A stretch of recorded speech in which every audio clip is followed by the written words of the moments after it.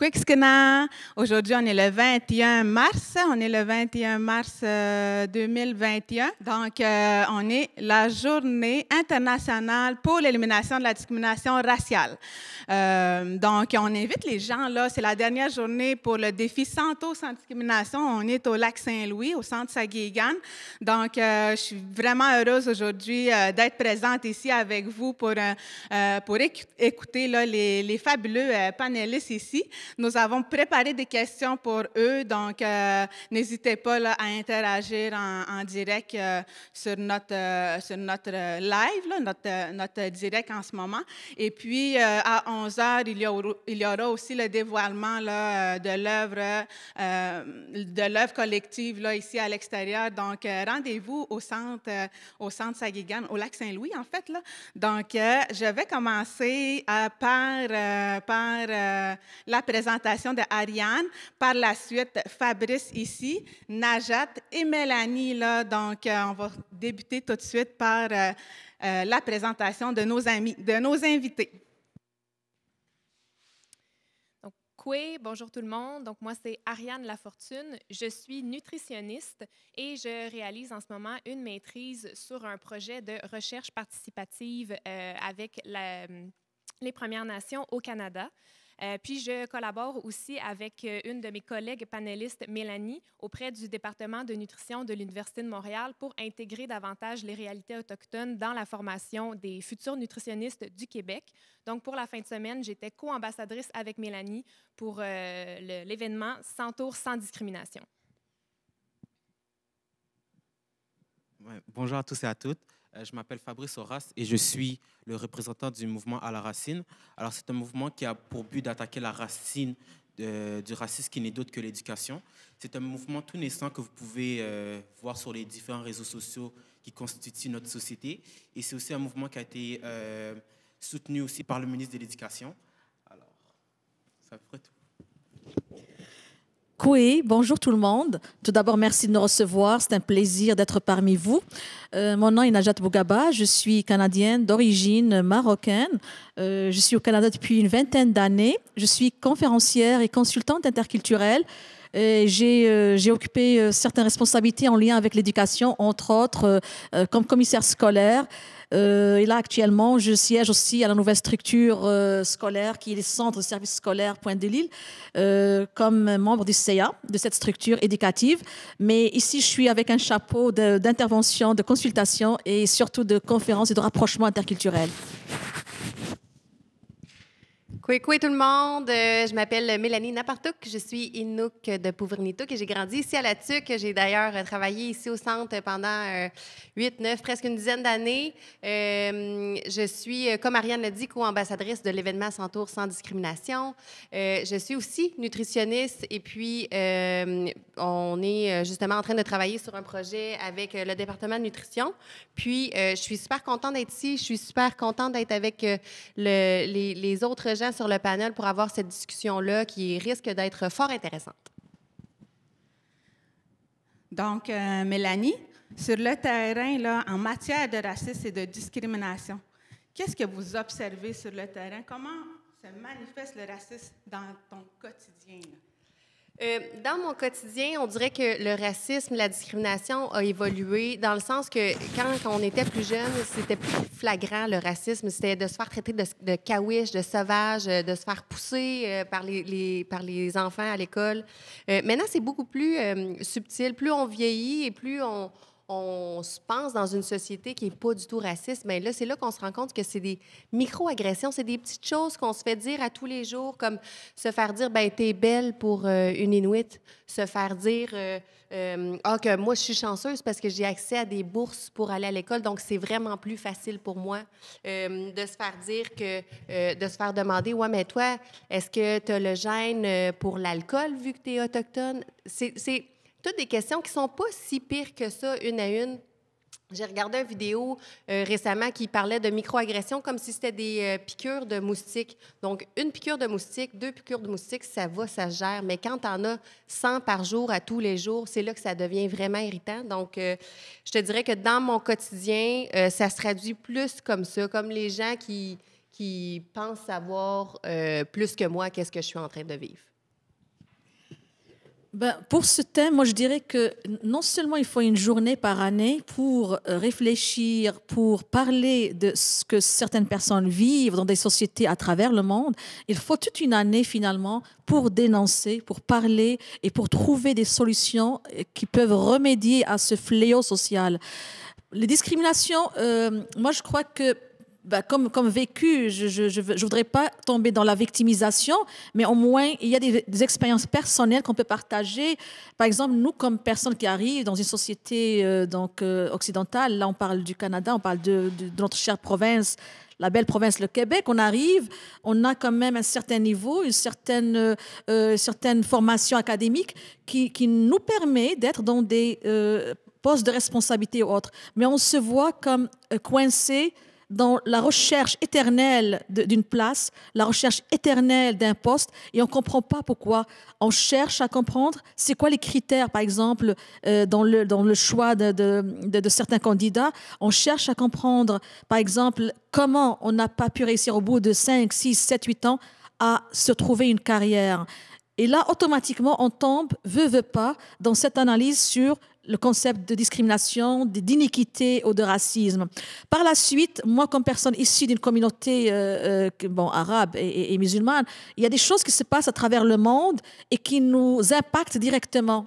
On est comme victime de ce qui peut se passer même à travers le monde. On se retrouve ciblé, parfois euh, insulté dans les médias, insulté dans les journaux écrits, dans, partout, pour des choses qu'on n'a pas commises. Et on cherche à se défendre. Donc il y a cette cette euh, sensation qu'on a tout le temps d'être là juste pour se défendre.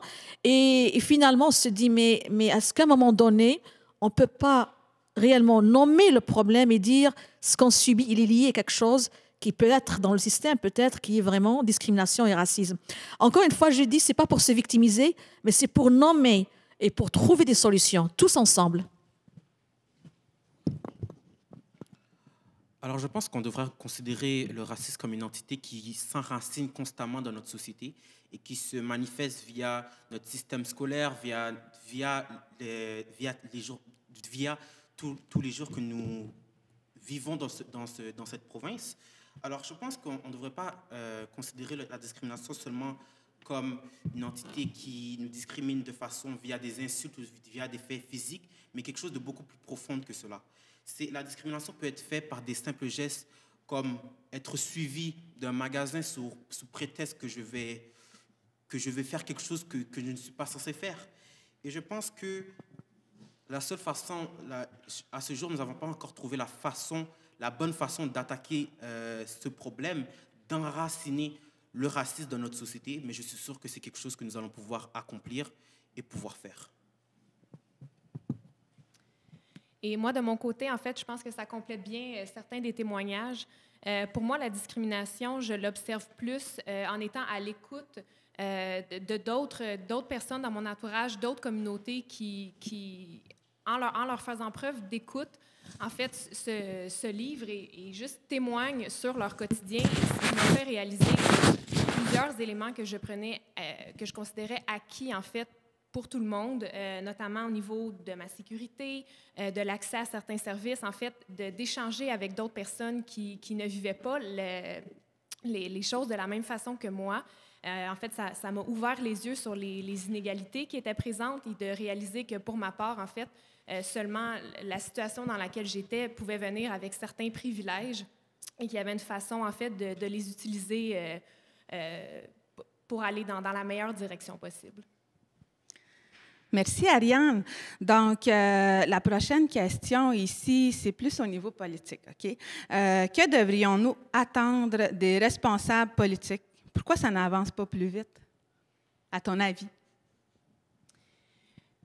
Donc, à mon avis, en fait, euh, c'est sûr que c'est une question très complexe et je pense que ça va être bien intéressant de combiner tous nos points de vue.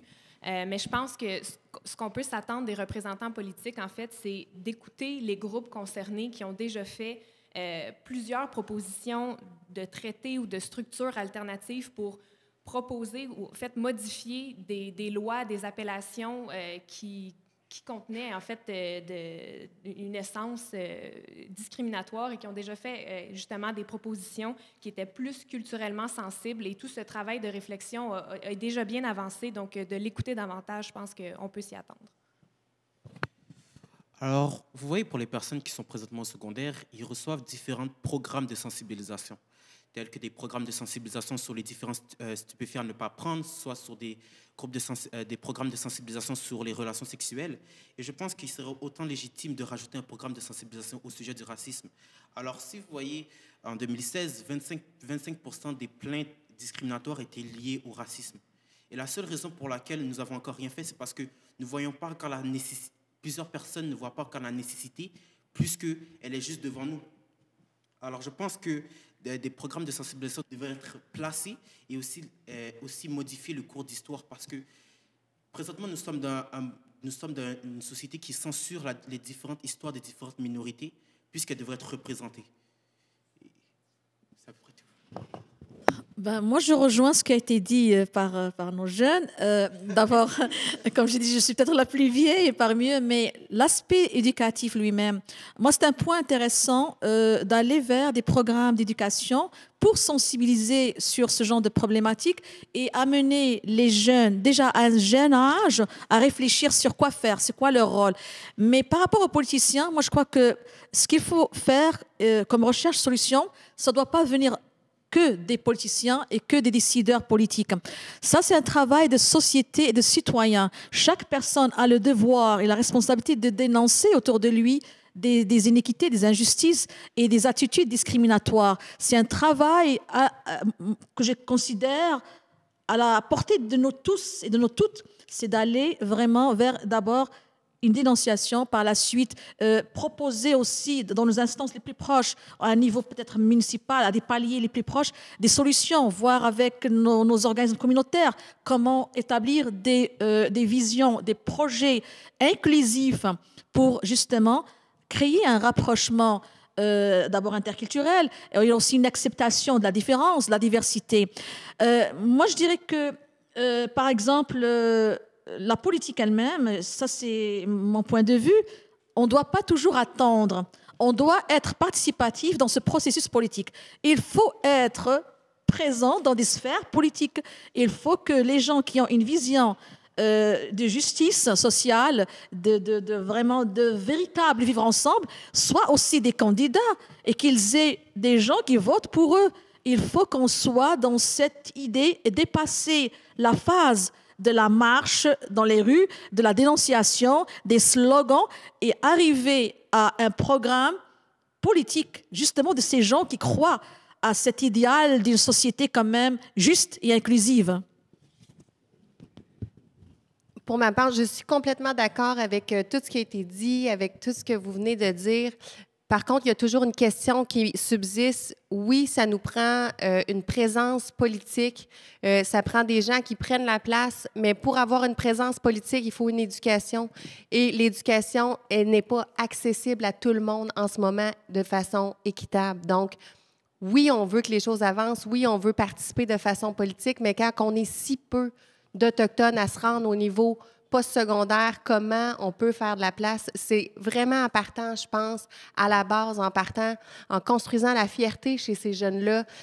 Moi, quand je suis allée au secondaire, puis je retourne à personnel parce que c'est plus facile de raconter comme ça, mais quand je suis allée au secondaire, on m'a raconté euh, l'histoire du Québec et euh, le 30 minutes qu'on a parlé des Autochtones, ben, il y avait les nomades, les sédentaires, euh, les maisons longues, les tipis, puis ben, c'est ça, ils sont morts. Alors moi, comme adolescente qui était dans le système d'éducation québécois, fallait que je me construise une fierté, une identité sur ces bases-là. Et c'est quelque chose que, évidemment, j'ai réussi à faire plus tard, mais parce que je suis allée le chercher, euh, il y, a quelque chose qui manque là, qu'on a le pouvoir de changer.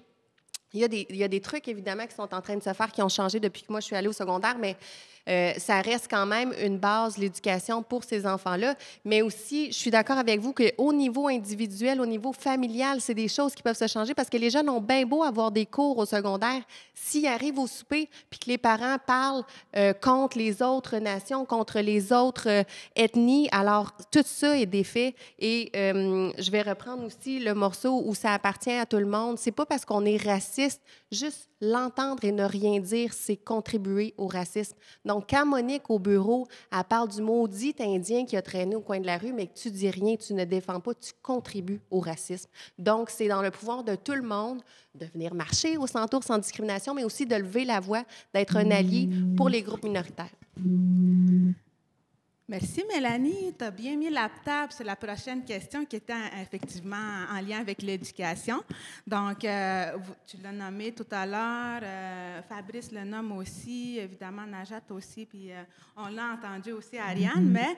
mais on dit souvent là, que l'éducation est au cœur de la solution. On le dit très souvent.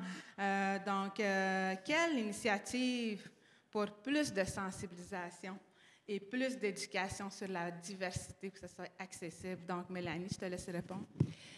Euh, bien évidemment, je viens juste d'en parler. L'éducation euh, dans le système scolaire québécois, c'est super important. Euh, puis, c'est pas tout négatif. Là. Il y a des super belles initiatives. Puis, je fais juste penser ici à la TUC, il y a une classe avec Madame Karine qui ont des, qui ont des, euh, qui ont des ateliers avec euh, des personnes autochtones qui viennent montrer aux enfants comment faire de la bannique. Les enfants se lancent dans ce projet-là, font de l'entrepreneuriat, vont vendre leur bannique à d'autres. Des enfants autochtones, des enfants non autochtones qui s'unissent ensemble pour faire un projet qui fait du sens pour eux, puis qui fait euh, qui fait shiner un peu la culture dans les familles aussi, parce que toutes les familles vont acheter ça. Donc, c'est pas des gros projets, c'est pas des grosses politiques, c'est pas des super programmes, mais ça a des impacts réels en, très peu de sous, très peu de moyens, mais ça a des impacts réels dans une communauté comme la TUC. Puis, euh, puisque, ben, on va parler d'éducation, mais euh, Ariane et moi, on travaille en ce moment sur euh, quelque chose au département de nutrition. Je vais lui laisser le plaisir de vous en parler un peu plus. Ben, moi, je dirais presque ce que, ce que, Mélanie avait avancé, dans le sens qu'il y a des choses qui n'ont pas besoin de gros budgets, qui n'ont pas besoin de grosses théories. Il y a des choses qui se font juste à un niveau euh, vraiment d'un organisme du quartier ou d'une association qui peut très bien créer des activités euh, de, de, diversité et euh, d'inclusion de différentes ethnies ou autres pour justement que on se connaisse mieux et pour qu'on arrive à combattre les préjugés. il y a des, projets surtout sur l'identité. Et là, Mélanie a parlé aussi de ça. Et je crois qu'il y a cette question identitaire qui est très importante, c'est de ne pas pousser certaines personnes à se sentir gênées ou avoir honte de nommer leur identité d'origine. Moi, je crois que pour une société, c'est un danger c'est vraiment un risque majeur d'aller pousser certains citoyens à remettre en question leurs origines, leur appartenance, leur identité. Ça risque d'avoir des conséquences très graves. Consolider l'identité et l'appartenance dans notre société est un, est un, est un atout majeur pour qu'on ait une paix réel et, un véritable vivre ensemble. Chercher des occasions de, rencontres, ça peut être des festivités, ça peut être des festivals, donner, donner l'opportunité, l'occasion à ces identités de s'épanouir, de se faire connaître et de bâtir réellement cette société multiethnique, multiculturelle qui veut, veut pas, on n'a pas le choix, elle est basée sur la diversité, sur la différence et comme on est dans un contexte d'autochtones, ben on est tous chez ces nations-là et on, on, est chez eux. Moi, avant d'immigrer au Canada, j'ai d'abord immigré sur leur terre, chez eux. Donc, je suis reconnaissante en ça. Et peut-être les gens l'oublient, mais moi, j'assiste beaucoup à des conférences où on commence par dire on est sur des terres non cédées. On est... Mais ça, c'est une dimension qui, qui, qui rend ces nations fières quand même, qui leur rappelle que c'est chez eux, c'est leur terre. L'histoire est marqué par certains événements malheureux, dramatiques, tragiques, mais c'est à nous de, remédier à ça et de penser ces blessures historiques. Alors, plusieurs personnes pensent que combattre le racisme, c'est vraiment quelque chose de compliqué et ils ne savent pas vraiment comment agir, mais c'est presque, presque ridicule tellement c'est euh, facile d'accès pour pouvoir combattre le racisme. Alors, qu'est-ce que les, agissements que vous pouvez faire, c'est par exemple utiliser les réseaux sociaux à votre avantage, que ce soit sur TikTok, Instagram, Snapchat? Et certes, comme, euh, comme ma, partenaire a pu le dire, il y a des personnes qui ont honte de leur origine, mais qui n'ont pas honte, mais qui ont peur de, euh, de, de dire leur origine par peur de discrimination. Alors, vous voyez, alors, au cours de ma vie, même si je ne suis, pas, suis, suis pas très vieux, alors vous voyez, euh, on m'a toujours dit que je ne vais pas mettre ma face dans un CV par peur de discrimination. Mais nous devons tous commencer à enlever ces genres de préjugés et ces genres euh, d'anormalités pour les rendre tout à fait normales. Alors, si nous nous attaquons ensemble, ensemble en même temps, c'est sûr que nous allons faire des changements. Et aussi, juste pour finir, car j'ai une autre chose à dire, c'est aussi de, lorsque nous, nous éduquons les personnes via les réseaux sociaux, de, dire les vraies, les vraies vérités et pas une, facette de la vérité, que ce soit par exemple les raisons de la guerre de sécession ou que ce soit euh, les différents aspects autochtones. Et c'est ça. Donc, euh, pour euh, mon point de vue, en fait, sur ce qui peut continuer d'être développé au niveau de l'éducation, comme on l'a mentionné à quelques reprises, Mélanie et moi, on collabore avec le département de nutrition pour intégrer euh, davantage les réalités autochtones dans la formation euh, des futurs nutritionnistes. Et euh, possiblement, en fait, que d'autres, d'autres départements de profession de la santé sont dans des démarches similaires, notamment suite à des événements inacceptables qui se sont déroulés dans la dernière année. Puis nous, c'est sûr, on est au début de la démarche, mais on commence à parler de co-construction, euh, de collaborer avec des gens des milieux qui veulent euh, en fait offrir vraiment leur point de vue, que ce soit eux qui aient la parole pour euh, nous, nous, guider en fait sur ce qu'ils veulent que les, professionnels de la santé de demain sachent et comprennent de leur réalité pour adapter leur approche. Euh, donc, on, commence aussi à parler de sensibilisation du personnel. Euh, puis, en fait, de, vraiment, le, but, c'est d'intégrer la, diversité de visions et de valeurs qui peuvent être liées à la santé et qui euh, nécessitent, en fait, une meilleure compréhension et une meilleure sensibilisation pour tous. Puis je pense en fait, euh, je rebondis un peu euh, sur Fabrice euh, qui parlait des réseaux sociaux, que je pense qu'on a quand même la chance d'avoir une, centaine de ressources quand même à portée de main. Évidemment, il y a, beaucoup de travail encore pour que ces connaissances-là soient vraiment dans le cursus de tous à l'école, mais que ce soit par les réseaux sociaux, des, émissions, des podcasts, des livres, des, plein de plein d'éléments culturels qui peuvent euh, quand même nous aider à beaucoup euh, beaucoup apprendre et beaucoup euh, beaucoup mieux comprendre. Miigwech Ariane, nous arrivons à la dernière question. Donc, vous personnellement, quelle est votre priorité en matière d'élimination euh, du racisme. En 2021, on est en 2021, on sait qu'il euh, y a eu euh, beaucoup d'événements dans la dernière année. On sait que les gens en parlent encore davantage. On parle beaucoup d'éducation, mais vous, personnellement, quelles sont tes priorités? Donc, pour moi, c'est certain, il va y avoir la continuité de, la démarche dont je viens de parler. il va avoir aussi la continuité de, de m'éduquer moi-même, de, d'utiliser en fait les ressources que plusieurs personnes en fait qui vivaient la discrimination sont déjà allées chercher euh, beaucoup de force pour, euh, ben, pour sensibiliser et faire passer leur message dans certains outils. Donc, je vais continuer euh, ce travail-là pour moi. Continuer aussi de donner de mon temps et de mon énergie pour des événements, par exemple, pour aujourd'hui, d'aller me rallier et marcher côte à côte, main dans la main, euh, auprès de certains groupes qui, vivent la discrimination et qui qui la dénonce, euh, puis continuer à, faire preuve d'écoute et d'humilité. Alors, je pense que vous devrez imaginer un énorme arbre qui est enraciné présentement dans notre société. Et je pense que vous devrez considérer cet arbre tel l'histoire des différentes personnes racisées présentement. Et je pense que pour euh, utiliser le, plein potentiel de cet arbre en question, nous devons utiliser, euh, nous ne devons pas seulement attaquer une seule facette du racisme, mais tout en même temps simultanément.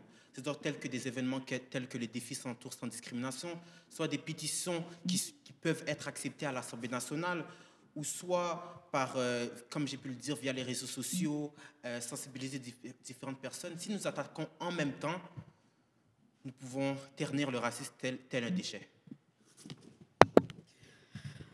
Euh, au fait, euh, moi je crois que comme je l'ai dit tout à l'heure, euh, c'est- finalement une responsabilité partagée. C'est un travail à faire à un niveau citoyen.